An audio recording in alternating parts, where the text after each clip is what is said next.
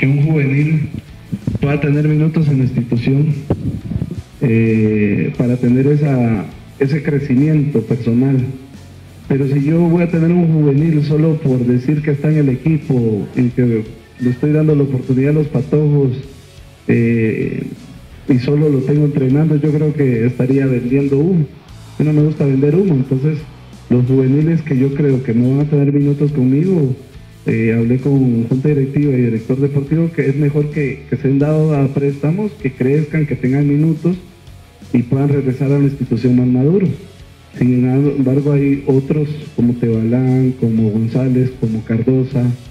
eh, como Castillo, que a mí me gusta, eh, como el tercer arquero, se me da el nombre ahorita, eh, como el mismo Jordi, como Luna, que son gente de la casa, que son gente de la cartera,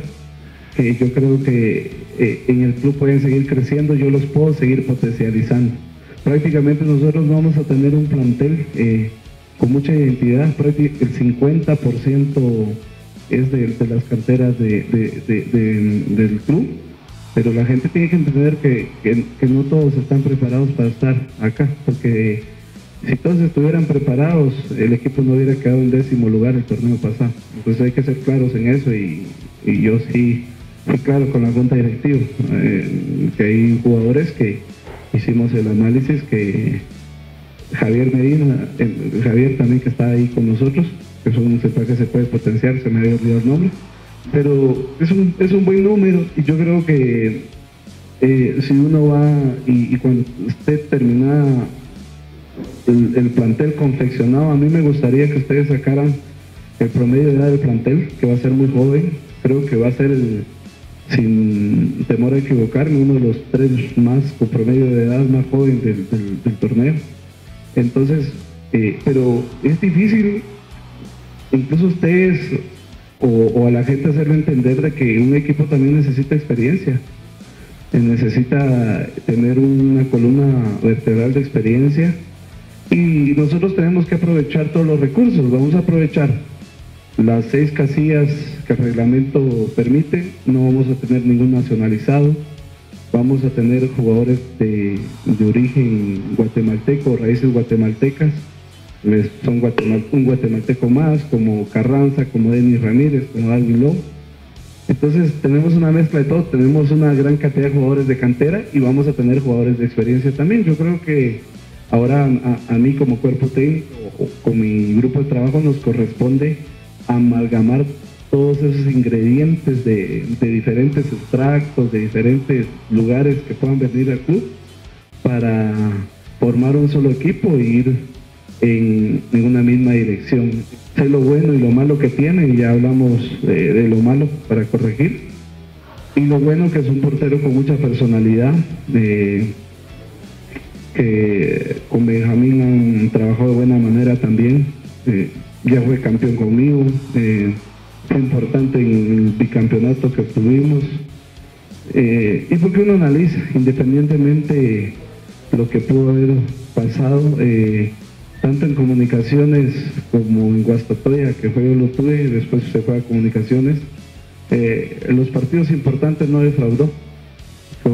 como contra el América, como en los clásicos, o sea, fue un referente y al final eh, es así, hay jugadores que tienen estrella, eh, que tienen que aparecen en esos momentos importantes. Eh, y, yo creo que, José es de ese tipo de jugadores, que va a aparecer en momentos importantes y, que tiene mucha presencia en el arco. a los porteros de ese tipo de,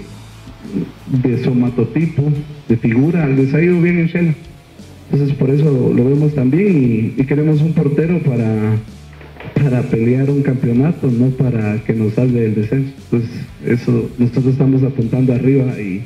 queremos un portero que, en Guatemala haya sido campeón y que en fase final ha demostrado que no le, no le pesan esos partidos y que en el camerino, que él me conoce a mí y yo lo conozco a él, sé que sabiéndolo manejar de buena manera es un buen líder de camerino también, porque yo ya lo tuve y ya estuve en un camerino con él. ¿Cómo va a planificar su temporada? ¿Cómo se cuenta que menos de un mes después de, viaje a Estados Unidos? Y tomando en cuenta también que no todos los jugadores tienen la visa para poder viajar. ¿Cómo va a ser este trabajo? Porque va a ser casi previo al, inicio del torneo, no sé, 15 días antes, ¿verdad? Ese viaje a Estados Unidos. En sí los partidos pueden servir para darnos una opinión más clara de cómo estamos jugando con un equipo de Liga Nacional como es Guastatoya, semifinalista del último torneo, entonces jugar con un equipo que peleó el último torneo nos va a dar un parámetro de, cómo estamos y qué necesitamos. Eh, lo jodido tal vez es lo, que usted menciona, es que si no viajan todos, eh, vamos a ir diezmados otra vez, no me va a permitir ver a mí a todos los jugadores. Espero que, que parte de gerencia, el club, pues haga todo lo posible para que el grupo pueda viajar eh, vamos a estar con la pretemporada fuera del estadio. Espero también de que eh, se, me, se nos pueda cumplir, de que este tiempo que estemos afuera, también la gente que está encargada del estadio se ponga las pilas para recuperarlo. Porque si no de nada estamos haciendo el esfuerzo nosotros de, de entrenar en otras canchas y si también nos dedicamos el tiempo a la cancha que sí lo necesita, estamos en muy mal estado. Eh, y bueno, eh, nosotros vamos a tener dos semanas de acumulación de cargas con eh, un turno, dos, hoy, hoy, tenemos dos turnos, triple turno en algunos días y vamos a jugar con eso, con acumular cargas las primeras dos semanas y la tercera semana, que es una semana que nosotros llamamos de, de transformación de cargas, donde metemos un poquito más aspectos técnico-tácticos, donde metemos un poquito más eh, las condicionantes de velocidad, de, de, reacción, de, reacción, de potencia, eh, de trabajo de fuerza también en potencia, eh, para ir soltando el grupo. Y después entra esa semana de los dos partidos, haremos ahí una adaptación pequeña que hicimos para volver a otra semana de transformación y terminar con una semana de realización que queremos tener un amistoso antes, el, domingo antes del primer partido de inaugural en casa que, o de visita, no sé, eso ya se encargará de ver la gerencia y la gente de, administración, donde se pueda jugar. Eh, que sí me gustaría que aparte de los dos partidos en Estados Unidos se pueda tener ese partido acá en casa o, de visita para que el grupo también tome esa confianza para para el inicio del torneo. Yo siempre, como les dije, voy a dar la cara. Eh, todas las contrataciones pasan por el visto bueno de mi persona y, yo soy responsable de lo que se está armando, tanto de lo que viene como de lo que se va también, porque estoy pensando en el plantel, en el grupo, en lo que me pueda servir y siempre trata uno de tomar las mejores decisiones por el bien de la institución. A mí lo que me interesa ahorita es Shela, eh, me interesa la institución y quedar bien con el aficionado, con el directivo, lograr los objetivos y, los resultados que esperan tanto la prensa, el aficionado y, el directivo de mí. es lo único que me importa. Entonces,